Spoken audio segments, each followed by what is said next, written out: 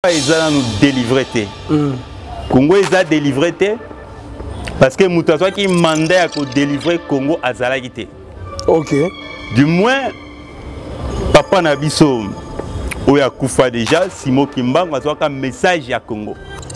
Pona Congo, mboka Congo démocratique. Mais achevaka mission te mission oyo nzambe apesaka ye l'essentiel asalaki mais oyo ya délivrance ya congo atikala kosala te alors après ye congo ezwaka nanu délivrance te mais ngai nazwi mandat mpo na délivrance ya mboka congo soki tozotala congo ndenge ezokende donc spirituellement toza na problème moko monde spirituel nde egouvernaka to egéraka monde physique lokola spirituellement tozwi nanu délivrance te yango ozomona makambo oyo nyonso ezoleka na congo bitumba oyo ya, ya pprd na mlc nalobaka yango nasakolaka esalami ka nde nalobaki meme départ oyo euti koleka ya président na biso eh, joseph eh, kabila oyo nalingaka mingi j'ai du respect parce que azalaki aza président azalaki na mboka na ngai adirigeaki ngai lokola citoyen na ye même départ ne nayebaki nalobaki yango na bato yo bien aimé makambo oyo nalobaka esalamaka oyo nazoloba ya pasi ya congo ya délivrance ya congo nazoloba makambo oyo ya jete nazoloba makambo ya solo nalobaki message moko awa soki délivrance esalami te 2023 ntina 2028 tokozala na pasi ya makasi makambo oyo nazoloba bokoma yango ya vie ya mutu to baelema oyo ezali très capital na vie ya mutu eza nanu mai nde toza boye tokoki kozanga courant me mai te tokozanga courant tolambela na bakoni na makala mais l'eau c'est la vie bisika mai eza te vie ezalaka te pesi biso est ce que otuni bacheveke bakankenza bon soki ozobenga otuni denis lesi de nation soki tozobenga baarchevêque to mm. baevêque to baprofete mm. nayebi te baza banani mpo totuna bango makambo oyo nzambe alobi nzambe akoki koloba na motu sans pour autant informe bato mosusu surtout na kati ya mboka na biso bainstitution ya mboka omona evandi malamu te baproblème eza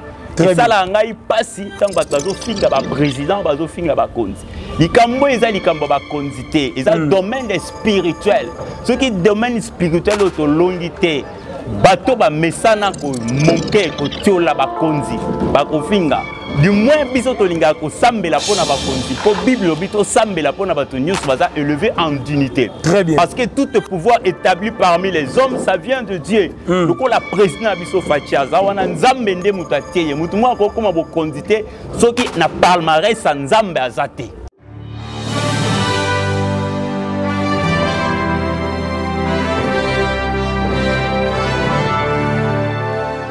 Bien, merci à tous et à toutes, euh, mesdames et messieurs. Nous sommes à Kinshasa, la capitale de l'RDC. Jérémy Louemba, les renards du désert est devant vous. Clin d'œil spécial à tout le monde. On va essayer de parler sur euh,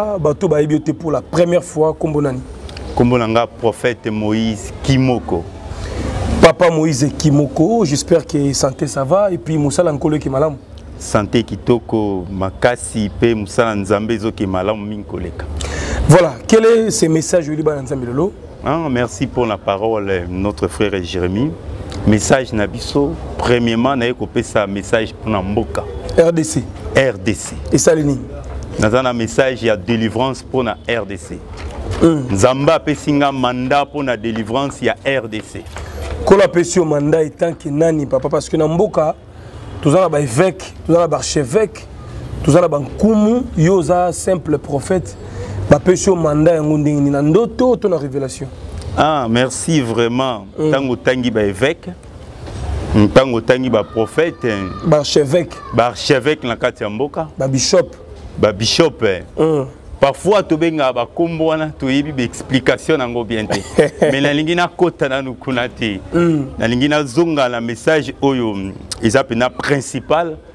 to motuya na biso nayi nalobela pourquoi nakozwa message hmm. nakoki kozwa message parce que naza na mosai na nzambe de deux naza prophète oyo nzambe aétablir na mboka oyo donc nabandi mosala to ministère depuis 1995 donc naza moto naumeli na mosala oyo nayebi yango bapreuve eza te papa oui mais preuve peut-être yo oza nango te ou bien motu mosusu azolanda ayebi aza nango te mpo ayoka nga te ayebi nga te euh. mais du moins nasali mosala na nzambe makasi na kati ya congo ok passons maintenant à l'essentiel message oyo ozwi mpo na nation mpo na délivrance ya congo eza nini parce que tomona baprière ebele selon yo le pays n'est pas encore délivré ok c'est ça mm, mm. alors yo sikoyo face à la caméra sona bandeko ngai azoyoka yo ok mboka eza nanu délivré te mm. congo eza délivré te parce que moto azwaki mandat ya kodelivre congo azalaki te ok du moins papa na biso oyo akufa deja simo kimbangu azwaka message ya congo mpo na congo mboka congo démocratique mais achevaka mission te mission oyo nzambe apesaka ye l'essentiel asalaki mais oyo ya délivrance ya congo atikala kosala te alors après ye congo ezwaka nanu délivrance te mais ngai nazwi mandat mpo na délivrance ya mboka congo soki tozotala congo ndenge ezokende donc spirituellement toza na problème moko monde spirituel nde egouvernaka to egéraka monde physique lokola spirituellement tozwi nanu délivrance te yango ozomona makambo oyo nyonso ezoleka na congo si longtemps congo ekozala nanu délivre te tokomona finance ya mboka na biso ekozala jamais stable nabandeli eloko oyo naoloba malamu mpo boyoka nga euh. si longtemps congo ekozala nanu délivre te euh. ekonomi ya mboka na biso ekozala jamais stable wana ndenge nzambe alakisi na butu ndenge nzambe alobaki na ngai ba message nazoloba alors qu'est ce qu'il faut pour badélivre mboka yango papa ah, mpo na délivrance ya congo ezosenga moto azwa nanu manda epai ya nzambe manda eza autorisation oyo bapesaka moto mpo aexerce mosala songolo biso tozwi manda oyo nzambe apesi biso mpo na délivrance ya congo yo ozwi yango nzambe apesi biso est ce que otuni baarchevêque ba bakankenza bon soki ozobenga otuni denis lesi de nation soki tozobenga baarchevêque to mm. baevêque to baprofete mm. nayebi te baza banani mpo totuna bango makambo oyo nzambe alobi nzambe akoki koloba na motu sans, sans pour autant informe bato mosusu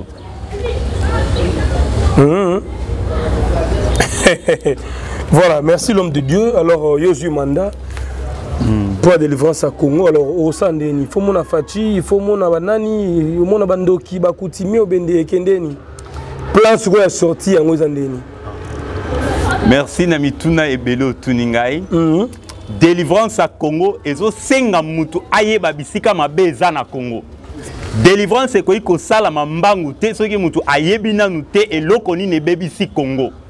Eloko nini ebebisi Congo mpe mpo Congo ebika esengeli nini? napesi exemple na bible toyebi lisolo ya, e, ya israel na kati ya egypte babandaki kolela bazobondela nzambe mpo nzambe akangola esengelaki nde moïse ayeba nzambe ase revele epai ya moïse mpo apesa ye message mpo ayebisa ye tala israele esengeli ebima na bowumbu mai mpo israele ebima na bowumbu esengeli osala boyeboye yango nde tozobenga yango manda l'autorisation ya, ya mosala oyo bapesi moto moïse azwaki manda nde omoni israele ebima na bowumbu biso tozwi manda mpo na rdc nazwi manda mpo na rdc mpo rdc ezala ya kokangolama mpo bato babika si longtemps ekozwa délivrance te économie na biso ekozala jamais stable voilà merci beaucoup prophète pour la révélation mais quand même hein, les choses de l'esprit ezalaka facile te bapaster baza ebele na mboka oyo baprophète baza ebele c'est vrai okozala même sous méconnu du grand public et tout mais oye na message de la part du seigneur toyoki yango mpe toaccepte yango natuni yo mécanisme olobi eh, opesi réponse natuni est ce que baarchevêque bayebi olobi ke baza banani pour que kolo atinda ngai epai na bango nakende koinforme bango alors yo etant que prophète quand même euh, je pense que lelo oyo baprophète ebele bamoki koabuse mm. bazomona biloko oyo ezosalama te bazoloba makambo eza kose concrétise te alors oyo opesi comme vision comme message ekokokisama ou bien mboka ekotikaka na situation ok merci mpo na parole mm. naza kolinga nayebisa na peuple to na gouvernement to na congolais nyonso ayebake tokómi na temps ya délivrance ya congo lolenge nini tokoki kosala mpo congo ekangolama si longtemps tokosala lolenge nzambe alobi te mboko ekokangolama te tokozala na mpasi na économie alors tosala nde nini eza na procédure tokosala na bapriere tokosala mpo na congo ekangolama Mm. Nzambe alobela ngai ba biloko esala ba effet ezala na Congo. Nakoki kobanda ko, ko citer mwa ndambo na opesa yango nyonso tutu te mpo eza mwa molai mm. na koparle mwa bapoint oyo ezosala ke Congo ezala na mpasi. Mm. Allez-y. Soki tobandi kosite bomonaka makambo esalamaka na mai ya njili na mpo ya mai ya njili eza parmi bapoint oyo eboma bato ebele bato bakufa baincendie esalama baacciden esalama na mpo ya mai ya njili mm. so toke na échangeur ezela na mai ya njili kuna nini ezala wana eza na force baceremonie ba moko esalama na pont wana na sirene aza na se eza baceremonie esalama na se ya pont ya mai ya njili mm. baceremonie wana esalami avant malgré na bando kata makambo mosusu mpo na kobimisa nyonso mbala moko te mm. nakoloba yango parce que nayebi population ebele ezolanda nga nalingi napesa ba l'essentiel mais napesa ndambu ndambu mpo na kosunga peuple azoyoka nga naza lokola molambi molambi alambaka alongoli mikwa atiki kaka misuni na mesa mpo bato balia misuni me mikwa abombi na pembe donc nakoloba nyonso te me ndambu ndambu alors deuxième eza nini eh, deuxièmement so botali na échangeur na po échangeur mm. eza place baévénement ebele ebele esalama ya mabe donc bacérémonie esalama mpe wana na pont ya échangeur na pont wana oyo échangeur na pont ya échangeur kuna yaka plus mona baviole mutu babomi bakuluna babandi babatamaka trop wana mm. pe basala baséance moko bacérémonie bacérémonie esalama bacérémonie wana esalami avant esalami avant esalami avant meme mobutu so bolandi bose souvenir président mobutu oyandaki koloba likambo ke bateki mboka mais mboka etekami na temps ya président mobutu te ah. président mboka etekami avant président mobutu mais mobutu ayaki kokuta déjà salite ezalaki fulu ezalaki aye abakisi kaka salite likolo ya salite mais mboka etekama avant président mobutu etekami na baancetre na biso mboka etekamaka ndenge nini malgré nazokata makambo mosusu mboka etekamaka na mabele soki bazwi mabele bateki seke bateki mboka na kati ya mabele ezalaka na richesse vi ya mutu euti na mabele yango ozomona nzambe azolobaki mutu auti na mabele mabele ezalaka source oyo ebimisaka bonheur ebimisaka richesse mabele ezalaka mpe source oyo edimdaka mutu yango omoni nzambe alobi meme na bible na genèse moto azonga mabele me ntango bakamati mabele ya mboka bateki seke bateki mboka mobimba problème na biso na congo eza mboka mabele etekama déjà depuis ntango bakoko etekama déjà banda bakoko mm. ndenge etekama ndenge wana ifo tobotola yango spirituellement nzambe ayebisi nga ndenge nini tosala bapriere mpo tobotola mabele ya mboka na biso parceke na kati ya mabele ya mboka na biso nde richesse evandi wana donc il faut bakonzi babenga yo mpo bozwa sikoyo mesure ya kosala bapriere wana donc esengeli moto nyonso te alingaka congo oyo aza na bolingo ya congo aza na mposa ya congo ebonga esengeli aluka biso toyeba ndenge ya kosala bapriere mpo nzambe alakisaki biso ndenge ya kosala bapriere na congo oyo po congo edelivre si longtemps tokosala bapriere wana te mpasi ekozalaka na congo kaka voilà merci beaucoup l'homme de dieu mais est ce que oyebi ke le 30 juin ezalaka journée indépendance oui nayebi yango malamu alors c'est 30 juin 2022 na stade de martyr bakonzi ya mboka bapesi autorisation na ba artistes musiciens ya mokili to hmm. tobenga ba musiciens mondains hmm. Wenge 4x4, ba Wera, ba JB, ba Didier Massela, ba Sangani, 25 ans après, mm. dislocation na bango mm. kopanza na bango basanga basi regroupe bazobeta grand concert mokolo ya indépendance ya mboka mm. journée oyo ezalaka chôme payé bato basalaka te journée ya concentration journée ya prière mm. toyeba mm. 65 ans après tokokende yango oyo mboka oyo euti wapi tokomi wapi tokokende wapi me bapesi bamusicien babeta concert cette date wana le 30 juin est ce que ekozala spirituellement omoni yango comment tano caméra papa bon merci mpo na question wana mm. c'est bien nde bapesi bango babeta baza bandeko na biso mm. mais na rien à voir na monde spirituel na monde spirituel ekocreye délivrance te mpo ngai na olobela délivrance kobeta na bango miziki oui bakosepelisa population basepeli peuple peuple asepeli mpo na miziki mais na rien à voir na délivrance ya mboka mpo na économie ya mboka te na bokina kibonzambe est ce que ezali élément moko ya freinage ekobloke ezodistraire peuple parce que indépendance ezali mpe spirituel hmm. eza symbolique hmm. nde babetisi bango na epuis na stade de martyr de la pentecôte mm. sika baboma bato est ce que eza na yo omoni mwa indice ya mabe te bon ezali mpenza mm, na eloko moko ya mabe mpenza place wana akoki koloba te mpo namoni eza na bandeko mosusu babi ke non spirituellement jour ya indépendance musique ya mokili ekobeta te na kati ya stade martyr bakopesa chance na misia mokili te le mieux bamisia kuta ya nzambe tokoki koaccepte donc yo omoni eza na insida moko te toloba bamusicien chrétien bamusicien païenne n'a rien à voir pour apporter délivrance na musique wana bakoki kobeta mm. délivrance ezolinga likambo bayeba eloko nini esali kongo ebeba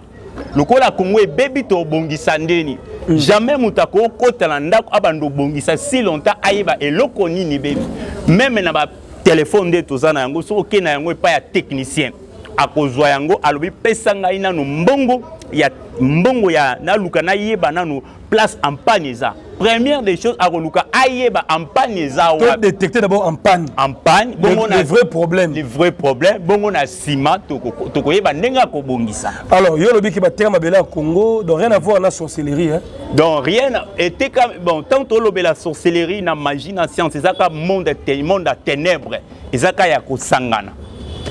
voilà ça c'est bien l'homme de dieu euh... Euh, je pense que bafamille ebele bakotala biso eh, à part vision akozwa mpo na congo alors mpo na biso bato hmm. mpo na bato oyo bakobela bato oyo baza bloqué freine omoni message te mpo na eh, eh, la suite ya vie na biso biso bacongolais biso bayindo bon message ezali mpo na mboka na population na église ya nzambe bien sûr hmm. Hmm. ntango mm. mm. deja mboka eza maladi babitan ya mboka bakozala ndenge nini seke maladi eza na kati ya mboka voilà. donc ntango mboka deja eza na crise eza na baproblème peuple wana bando souffrir na nzala bando souffrir na maladi ao souffrir na chômage mm. yango mm. ozomona même économie même ba, même ba député même na parlement même na sénat partout na kati ya mboka na biso ba institution ba institution ya mboka omona evandi malamu te ba problème eza esalaka ngai mpasi ntango bato bazofinga baprésident bazofinga bakonzi likambo oyo eza likambo ya bakonzi te eza hmm. domaine spirituel soki domaine spirituel oyo tolongi te bato bamesana komoke kotyola bakonzi bakofinga du moins biso tolingaka kosambela mpo na bakonzi mpo bible lobi tosambela mpo na bato nyonso baza élevé en dignité parce que tout pouvoir établi parmi les hommes ça vient de dieu mm. lokola président na biso faci aza wana nzambe nde moto atie ye moto moko akokoma bokonzi te soki na palmarès ya nzambe aza te très bien voilà je vous laisse le temps oyo exhorte bandeko ofungoli mpe bible yango ntanga chapitre nini mm. eh, je ne sais pas trop bato baza peut-être eh, eh, baperdre espoir bato vie ekomi bloqué kindoki eza déclaré na kati ya famille na foyer est ce que bato ya bongo soki batie confiance na nkolo na nzambe oyo osambelaka bakozwa mpe eh, solution na bavi na bango oui bakozwa solution parce que nzambe arestauraka aza capable ya kosala nyonso rien n'est impossible à dieu tout est possible à dieu à celui qui croit mm. nzambe abikisaka nyonso tout mm. aza capable ya kobikisa mais le problème c'est le problème aussi de temps e ya foi ya moto epai ya nzambe vis à vis ya nzambe hmm. donc so moto atie foi ye azeli ta ya nzambe omona bikamw ya nzambe alors exhorte bandeko papa oyo baza na problème ya foi bato oyo baza mpe hmm. na baproblème na baniveau ya santé maladie mosusu baodeklare yango maladi ya molili hmm. bato bapesi mingi confiance na banganga na bamagicien mpo na bavie conjugale na bango pour leur vie privée bato abongo koconseille bango ni papa ok merci mpo na parole mm. ekosenga ngai lilendisi mpo bible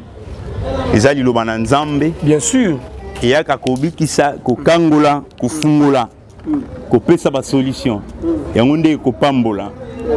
vraiment merci mpo na moto nyonso alandi ngai merci mpo na moto nyonso alandi ngai na makambo oyo nauti koloba ya mboka eza vraiment très très important très très capital eza makambo oyo nzambe alobi na biso mpo na mboka congo nazali mosakoli oyo nabandi kosakola kala nasakola deja mpo na makambo ebele ya minene ya mboka oyo esalami naza na ba plus de dizaine de messages naloba ekokisama nakoloba makambo ebele eza ya koloba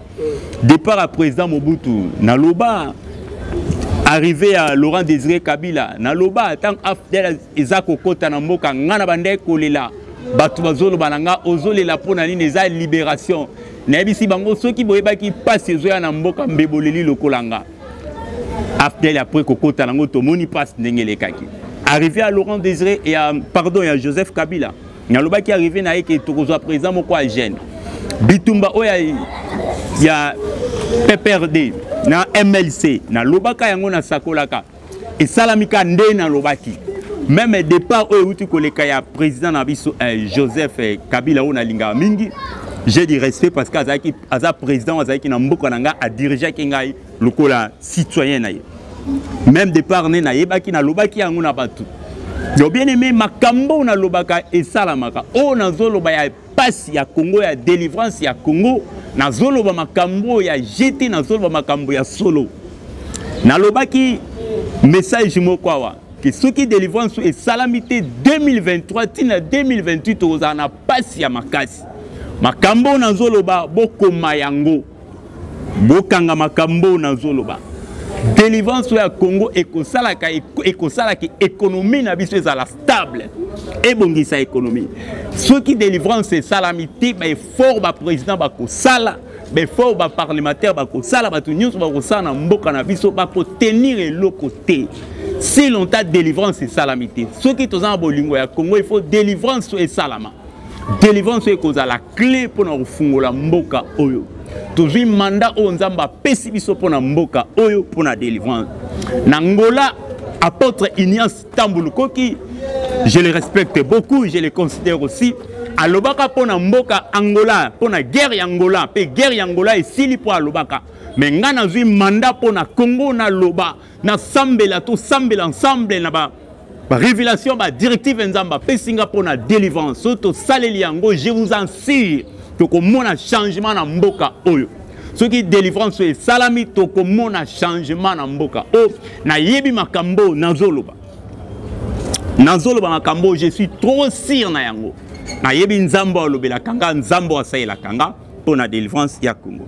bien aimé nalingi na exhorte me nalingaki nabeta mwa sete na bamessage yo mpo nayebi yo kolanda yango okoyoka ngai kuna ozwa message wana vraiment à cœur osambela mpo na yango bien aimé nazongi na liteya na ngai nalingi toparle mokie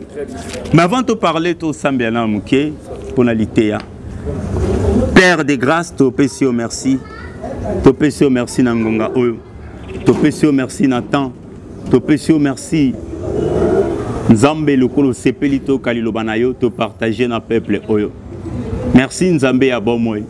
temps favorable ou pas favorable esengeli toteya liloba na yo nzambe mpo yango ekangolaka mpe ebikisaka simba mitema ekoyoka liloba oyo simba bato bakolanda biso nzambe bazwa basolution lokola ozali le même meilleur aujourd'hui éternellement moto nyonso akolanda liteya oyo nzambe ememela ye solution réponse mpe guérison miracle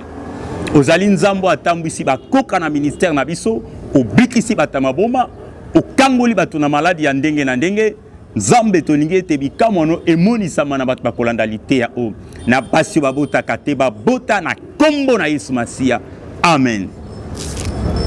wi totangi liteya na biso bien aimé dans le seigneur na ozala mpena molai te na liteya na ngai nakozala mwa mokuse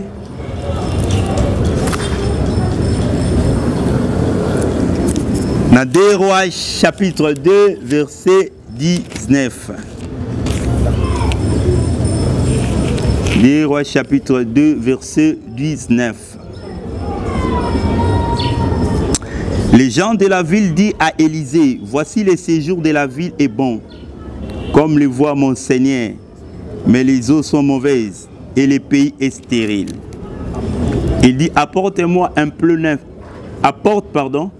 il dit, apportez-moi un plan neuf et mettez-y du sel. Et il lui apportait. Il alla vers la source des eaux et il jeta du sel et dit, Ainsi parle l'Éternel, j'assainis ces eaux. Il n'en proviendra point, pardon, il n'en proviendra plus ni mort ni stérilité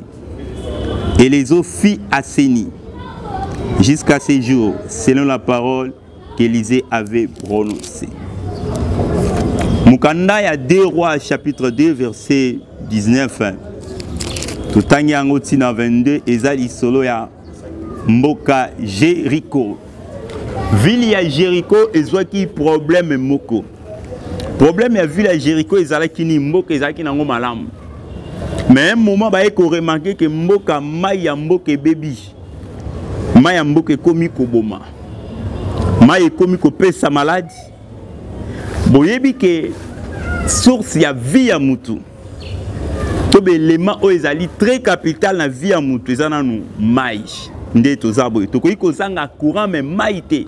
tokozanga courant tolambela na bakoni na makala mais l'eau c'est la vie bisika mai eza te vie ezalaka te de soki mai ekangami tokozala na problème très sérieux namona deja na matadi mai ekatana bato bakoma okende na fleuve koluka mai esalaki bato mosusu bazinda na mai bapapa mikolo baresponsable bakufa mpo bandaki kowela mai na fleuve mpo batoka mai na fleuve bato bakufi mai ekangama 3 jours na matadi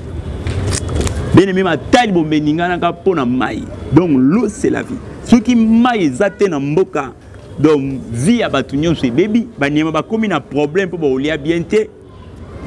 po banyama baolia nango bien te mpo matiti ebota bien te mpo mai eza te mai absence ya mai ememaka sécheresse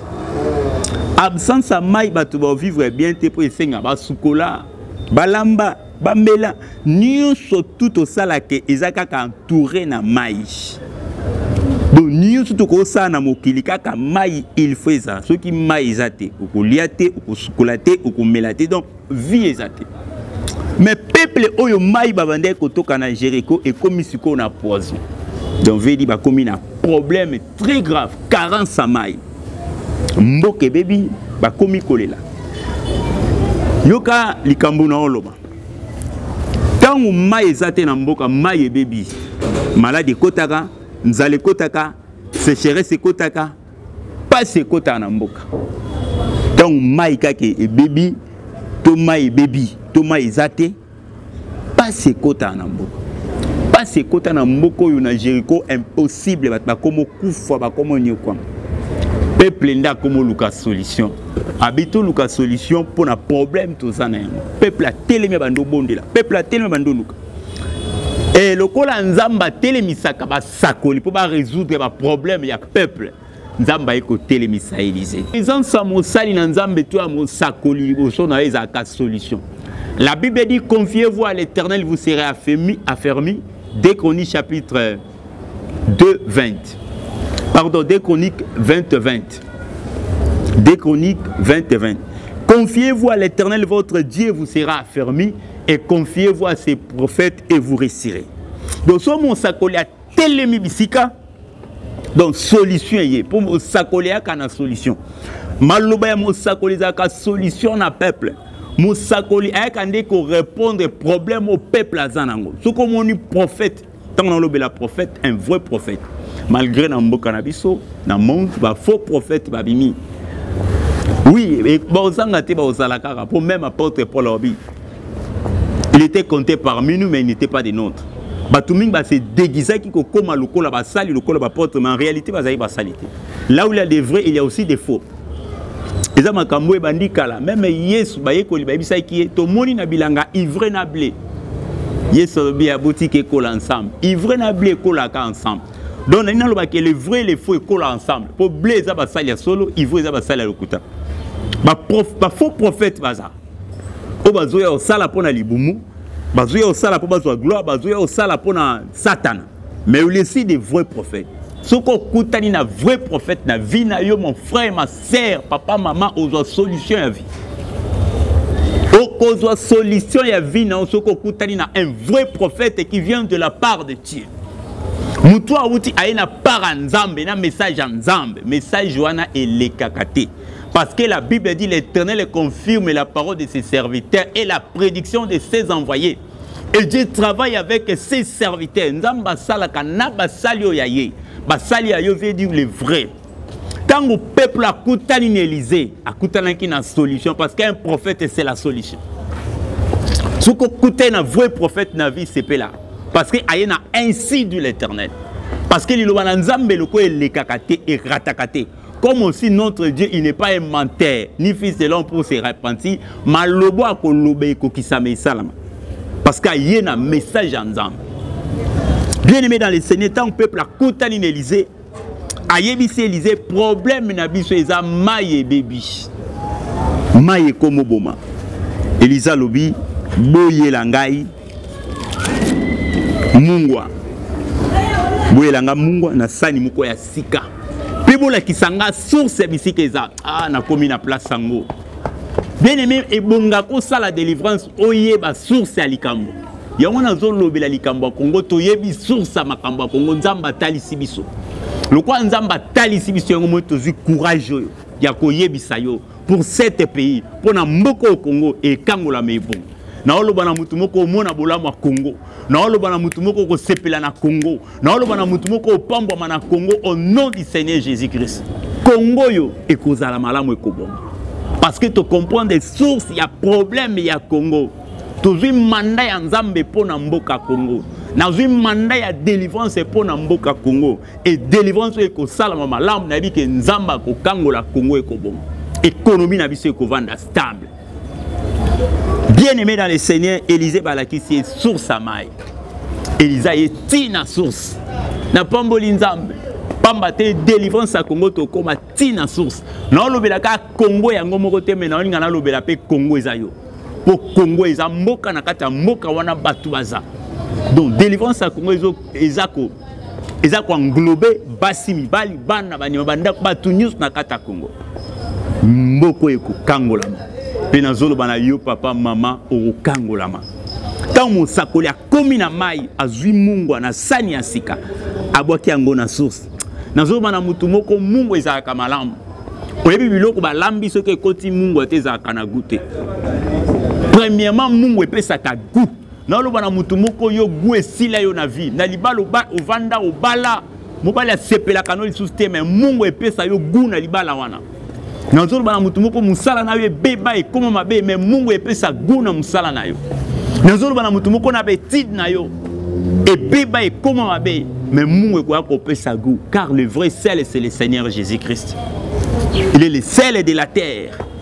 nazoloba na moto moko mungu eza yesu mungu epesaka gu deuxième faculté ya mungwa mungwa yaka kogarde la pouriti kopola mungwa so batia yango na likaya bo ata likaya bo elingi epola epola te ata ngombe elingi epola so batie mungwa epola te donc mungwa yaka kogarde pouriti yaka kogarde eloko ebeba te naoloba na moto moko vino ebandaki kokende deja na obeba bana oyo obota banda okende deja na obeba mosala nde banda okende na obeba mai lokola ezokɔta mungwa mungwa c'est le seigneur jésus christ ekobatela yo mpo obeba te ata bato na famille bakomaki kotala bande kobenga yo gaillard zero bande kotala babi yo obalaka te etula me nazoloba na yo okobala mpe vine ekochange parce que mungwa c'est le seigneur jésus nazoloba na motu moko ke yesu aza mungwa yesu abongisaka nyonso yesu akenda na tombo ya lazare akuta lazare akufa moto apola abenga lazare lazare sort lazare abima parce que jésus il est le sel biloko oyo epoli abongisaka yango biloko oyo ebebi abongisaka yango elisa atie mungwa troisième faculté ya mungwa bien aimé na le seigneur nazoloba na yo ke mbongo eza na ba utilité na yango eza na ba faculté ya malamu oyo esalaka ezala bien na biloko eliza akamataki mungu atie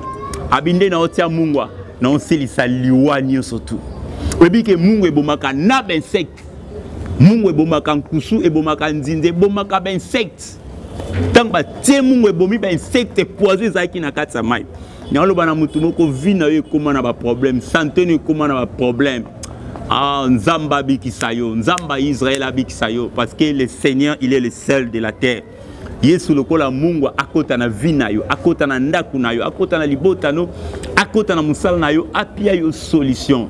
yo moto ozolanda liteya oyo bisika ozoyoka ngai ezala na ntongo ezala na 10 heures na 11 heures na 15 heures miracle ya nzambe esalemela yo na nkombo na yesu sambo atambwisa baparalytique na maloba toloba baparalytique batambola bato maboma babika ntango tozoloba tika ete nzambo ya lola asimba yo bisika oza obika au nom puissant de jésus christ oh seigneur merci yo moto oza na complication meme ya kobota grossesse oyo ezo komplike yo nazoloba na yo na minute ozolanda ngai kaka tika ete nzambe alola asimba yo complication ekweya kobota na kimia au nom puissant du seigneur jésus christ ntango babengaki mosakoli seke babenga ye solution bisika prophète aye seke solution eye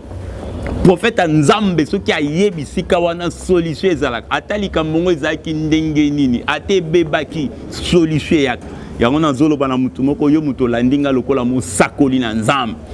tika ete maloba na oloba na nkombo na yesu lokola totindami na yesu tozwi mande kouta epai na nzambe tika ete maloba oyo echange vie na yo na nkombo na yesu bien aime bisika oza oza moto ya maladi bisika oza oza na baproblème ata oza na mwana moko abelaka liboma esilaka te na miniti oyo ngai nalingi nasambela yo simbaka mwana wana ezala oza na problème ya miso omonaka te yo simbaka misu bisika oza wana meme oza na baproblème obela maladi moko ya makolo esilaka te oyo oza na mbasu bisika oza osimba place wana nayebi nzambe oyo nasalelaka nayebi nzambe oyo makambo asalaka namoni na miso na ngai baparalytike kotambola namoni na miso na ngai baveugle komona namoni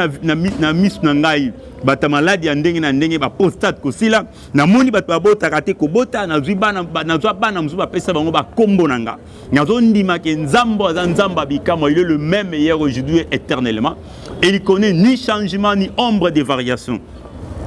nzambe oyo nazoteya aza capable asala makambo ya minene yo moto ozolanda nga simba bisika oza ezala oza na problème ya dossier moko na justice ezokomplike oyo nazoloba simba kaka yo simba bisika oza maladi soki oza na dossier moko simba maboko na yo fungoli maboko lokola moto azozwa eloko soki mpo oza na dossier wana okoki kosimba soki dossier eza te fungolaka maboko lokola moto ozwa eloko nayebi nzambe oyo nasambelaka makambo asalaka asala makambo ya somo ebangisa meme nga moko ekamwisa bato simba je vais prier pour toi dieu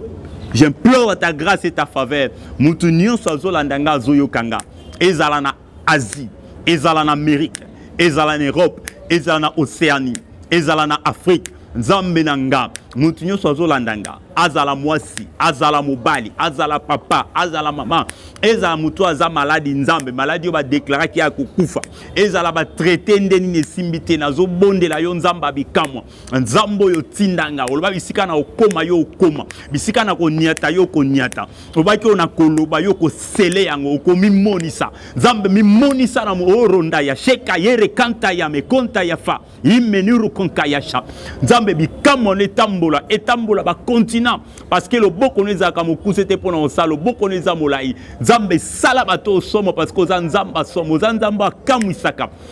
kosalela bato makambo oyo elekelaka bato nzambe bisika maboko na ngai ekomi te miso na ngai ekomi te matoi na ngai ekomi te me nzambe nasengi ya ye ekoma nzambe bamiracle elandela bato nyonso bazolandela nga aplise fo bato bakolanda video oyo bakoyoka yango bamiracle bando continue kosama na bavi na bango na deklare lokola mopakolami lokola moto azwi manda mpo na rdc na nkombo na yesu kristo au nom puissant du seigneur jésus christ nzambe miracle elanda moto nyonso mpe loboko elanda moto nyonso oyo azali na problème ya mbongo azwa mbongo problème ya libala azwa libala problème ya kobota azwa kobota zambe ya bomoi problème ya mosala azwa problème ya voyage azwa na nkombo na yesu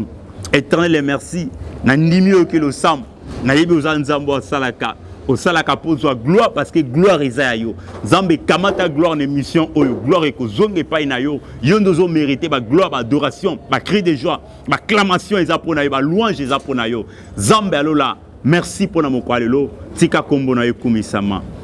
Au nom du Seigneur Jésus-Christ. Amen. Numéro nanga téléphone au pesa yo benganga. Je suis un prophète. Naza mosakoli na sakolaka. Makambo nzamba lobaka.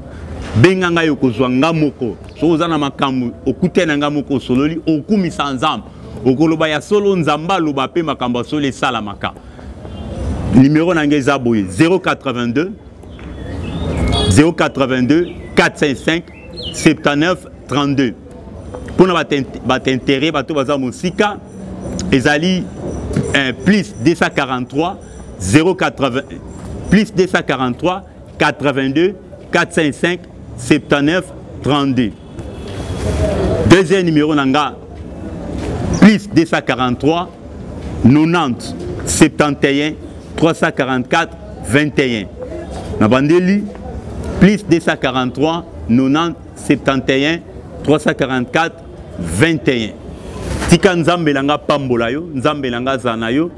eh, yo moto olandi nga yo moto oyoki nga contribue mpo na mission oyo ya délivrance ya congo eza makambo ya solo euti epai na nzambe ete nzambe na ngai akopambola yo soki osoutenir délivrance ya congo oyo nzambe atalisi biso mpo alakisi biso baclé oyo congo ekoki kokangolama nalobi yango ndambo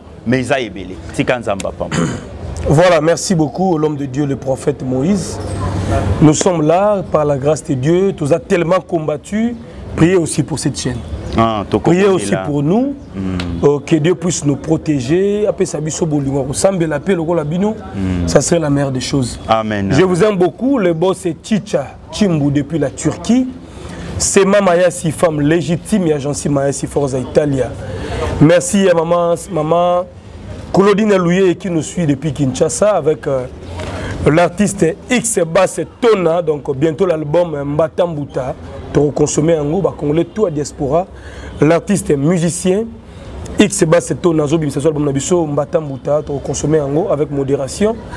et aussi euh, je vois le vieux Gérard Saddam na Manchester il y a le Zombala de Madrid maman Fifi Longo na Londres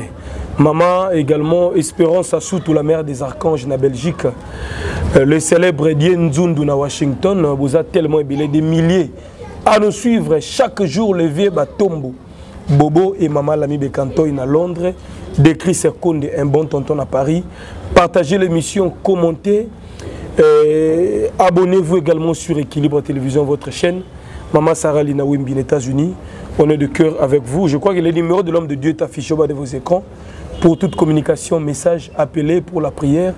l'homme est disponible et va travailler également avec vous. Bye bye à suivre et à très prochainement. Merci papa.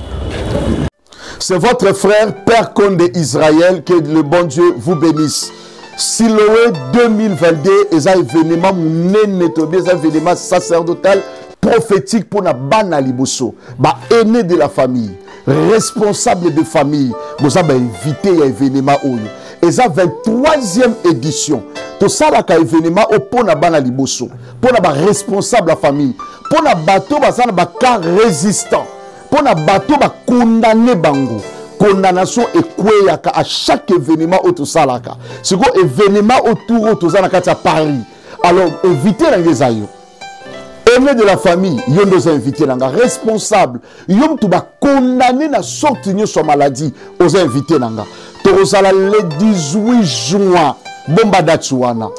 16 rue descouvrier 95 200 na sarcelle place evenema ya bana liboso ekosalama yo tozolanda kaka sikoyo okwayaka na nzambe avizitaka nga na ndimaka nzambe ya abraham ya isaki ya jacob nzambe asalela simo kimbangu aza nzambe monene nzambe asalela aidi na bala aza nzambe monene nzambe asalela papa na nga bolia aza nzambe monene yoka oza invite na ngai yaka tokobondela nazopesa adresse ya eglise yaka tokoprie 9 rue de la poterie saint denis mercredi 15 heures service prophétique et délivrance dimanche 15 heures eza haute spiritualité kozanga te yo mtsoko ozali à partir ya gare à saint denis ozwi tram emema yo epine sur scène kita na deuxième arrêt delone belleville 15 heures juste service ebandi yaka na famille na yo omonde ozolendaka sikoyo napesi yo nimero benga ntango ozobenga ndima prophesie ndima nzambe alobaka napesi yo nimero 0033 7 66 27 40 02 topesi faveur na bato tu boza libanda mboka komelanga ka requete tinda kombo na oza na mwana yango azobela tinda partout bisika ozali tinda tika nzambe apambola bino c'était votre frère père conde israël sacerdoce erataka te jamais erata soyez béni au nom de jésus merci